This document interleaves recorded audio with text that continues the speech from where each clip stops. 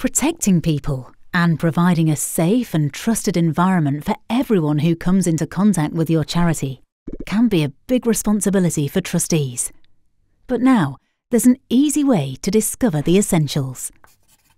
The Charity Commission registers and regulates charities in England and Wales.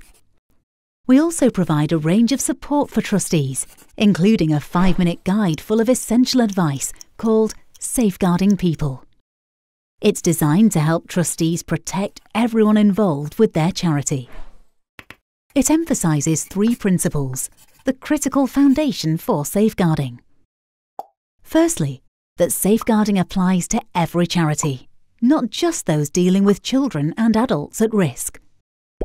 Secondly, that safeguarding concerns the well-being of every person connected to a charity, not just beneficiaries. And thirdly, that safeguarding is the responsibility of every trustee, not just a designated few. The guide also sets out a five point action plan, which covers identifying risks, what policies must be in place, including how to report and manage incidents, and ensuring that necessary checks are completed for everyone. In short, it provides the essentials that every trustee needs to know and get right. Safeguarding is an ongoing concern that trustees must regularly review and update. And the guide signposts you to further support. Trustees must create and maintain a strong safeguarding culture.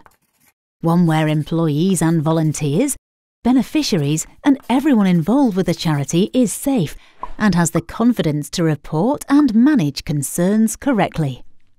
Reading Safeguarding People will help ensure that effective safeguarding measures are put in place. Safeguarding is about keeping people safe. And there's nothing more fundamental than that. Take five minutes to read the guide and refresh your knowledge today.